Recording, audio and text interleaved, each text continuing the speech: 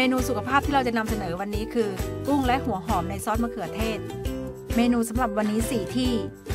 ส่วนผสมคือกุ้ง หัวหอม ซอสมะเขือเทศสับละเอียดเหล้าสอซิ่ง และน้ำมันพืช น้ำมันพืชเช่น น้ำมันถั่วลิสง น้ำมันนาโคล่า น้ำมันข้าวโพดเป็นต้น หมักกุ้งด้วยเกลือน้ำตาล แป้งข้าวโพดเหล้าสาวซิ่ง และพริกไทยขาว เกลือคือเครื่องปรุงสำหรับซอสมะเขือเทศ น้ำตาล แป้งข้าวโพดเหล้าสาวซิ่งและน้ำ ก่อนอื่น ล้างกุ้ง เด็ดหัวกุ้งออก ขา หาง และไส้ออก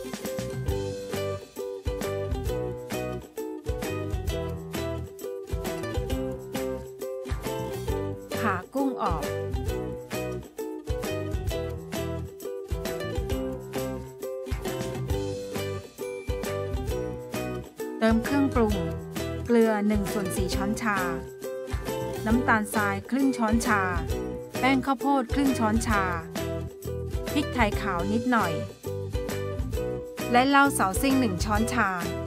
ผสมให้เข้ากันและทิ้งไว้ 30 นาที ในขณะที่หมักกุ้ง ล้างมะเขือเทศแล้วหั่นเป็นชิ้นๆ ใส่กระทะและปรุงจนสุก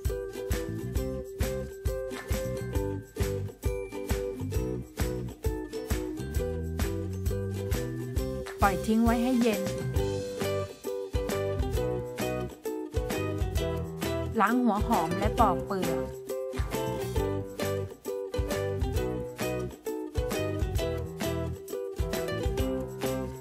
หั่นหัวหอม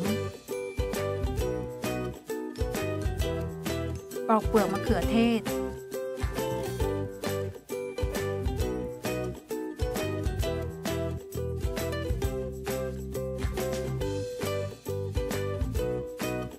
กดด้วยช้อนซ่อม ใส่กระเทียมที่สับละเอียดและเครื่องปรุงต่างๆ เกลือครึ่งช้อนชา น้ำตาล 1 ช้อนชา แป้งข้าวโพด 1 ช้อนชา น้ำ 3 ช้อนโต๊ะ และเหล้าซิงค์2ช้อนชา พักซอสมะเขือเทศไว้ หลังจากที่ใส่กุ้งให้ใส่น้ำมันพืช 3 ช้อนชาลงไปในกระทะเคลือบ ผัดกุ้งประมาณ 3 นาที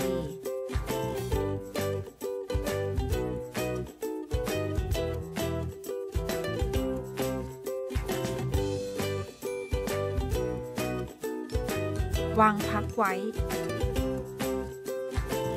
ผัดหัวหอมในกระทะจนนิ่ม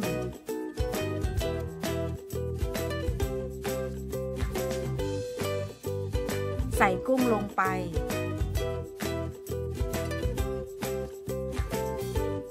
เทเหล้าเสาซิ่งสองช้อนโต๊ะลงที่ด้านข้างกระทะ ใส่ซอสมะเขือเทศลงไป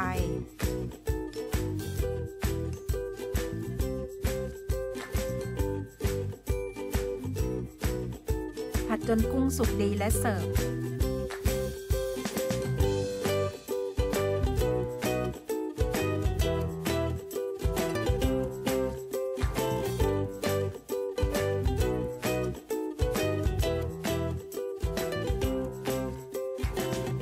คุณค่าทางโภชนาการอาหารสำหรับวันนี้คือ พลังงาน 109 กิโลแคลอรี่ คาร์โบไฮเดรต 8 กรัม โปรตีน 7 กรัม ไขมัน 5 กรัม แคโรทีน37 มิลลิกรัม ใยอาหาร 1.2 กรัม และโซเดียม 507 มิลลิกรัม